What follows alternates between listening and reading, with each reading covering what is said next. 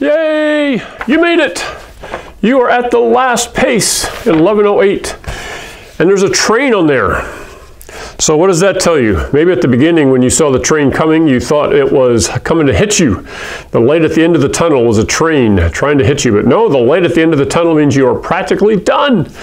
And the train also tells you that you are on track to finish and that you have been well trained with your brain. You are smarter now. I guarantee you, you are smarter now at the end of Algebra 1 than you were before you started Algebra 1 because algebra is a great exercise program for the brain that makes neural passageway connections. If you haven't seen my video on why do I have to learn this, go and watch that, okay? It's on my uh, homepage at the bottom, and I think it's also on the uh, it's on the YouTube channel. Why do I have to learn this? I'll never use this.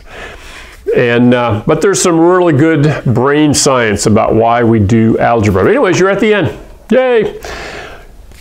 In fact, on the back, when you're done, there is a certificate, and there is Mr. Lightbulb, okay, that you have gotten to know throughout this course. This certifies that has successfully completed the required paces for Algebra 1. So you can write your name in there, cut it out, put it on the refrigerator, okay? Make your dad happy. This pace is kind of like a final exam. So it is going to review, you know how every pace had a section at the back that reviewed a little bit from all the paces? So this goes much, much more depth covering all the paces. And so there's no new content. It's all review. So hopefully you held on to your paces from the beginning and you can go back and refer to them. You'll have the videos on Pace Success website that you can go back and look at if you're stuck. And um, you're just working through the different sections. There's still checkup, self-test, and then the PACE test. In a way, the PACE test is like a final exam for the whole course, okay? So you're reviewing things that you have been learning.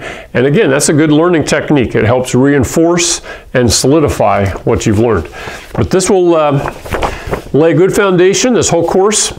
And uh, next year, when you move on to, well, I guess next year you do geometry and then uh, the following year, Algebra 2, and they'll go back and do a little review before they start, and then take into some new concepts in Algebra 2. So my goal is um, to start making videos for Algebra 2 and uh, see how far we get with that over the next several months. So we'll see you there, but you're almost done with Algebra 1. Hang in there, finish strong. Good luck.